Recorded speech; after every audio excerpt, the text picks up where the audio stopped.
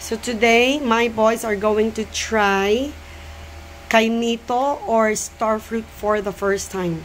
Remove the seed. So I grew up eating this. When I was a young kid here in the Philippines, we used to have a tree, but now it's considered one of the rare trees here in the Philippines.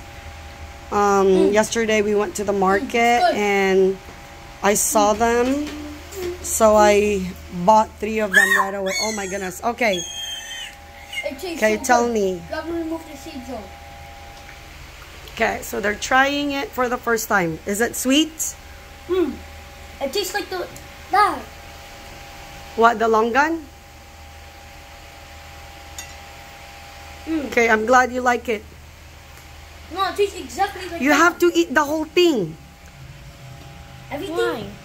No, no, this. Just just don't eat the the No. skin. this.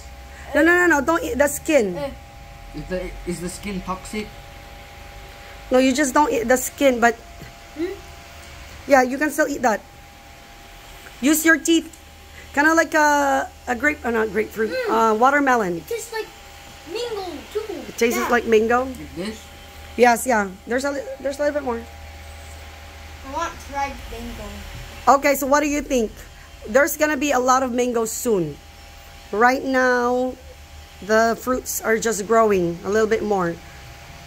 But maybe in a few more weeks, we're gonna be seeing more mangoes. And we have mango trees as well, so. So good. Oh, no. That's not enough. That's still meat that you can eat.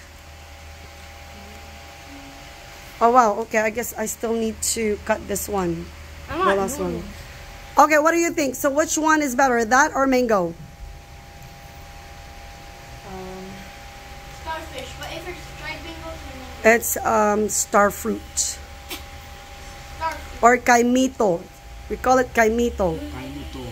Okay, so should I open this one? Yeah.